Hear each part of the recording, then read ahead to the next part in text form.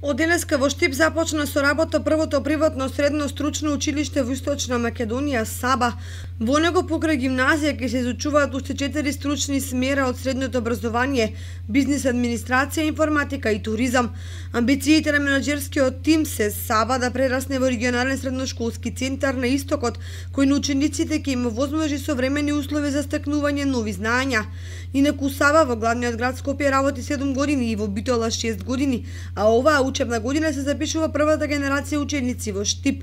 Ово училиште ја воведува практиката за доделување стипендии на недобрите ученици од основните училишта во Штип, при што уште на првиот конкурс се јавија голем број ученици.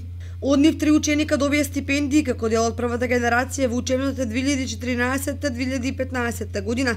До сега во Саба имаат завршено над 200 ученици кои своето школување го продолжиле низ сите државни и приватни факултети во Македонија, а голем број ученици се запишани и на европските и северноамериканските универзитети.